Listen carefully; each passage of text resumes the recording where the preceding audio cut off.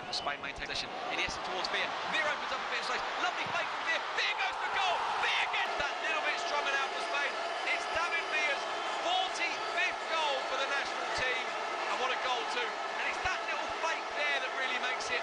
It's a superb finish from David Villa. It's his 45th goal. El Guaje gets it.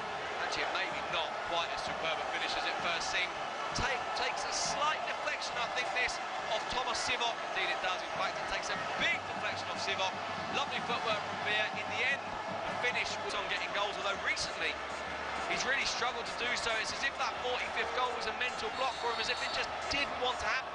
He's hit the post four or five times in the last five or six games alone. He finally got the goal. See what it means to him. You can see what it means to Spain. Just wonder if that Villa dashes across to Pepe Reina, the driving of the European Championships in 2012. David Villa against Petr Cech. He's missed one or two penalties of late, David Villa. Not always confident from the spot. Here he goes, Villa!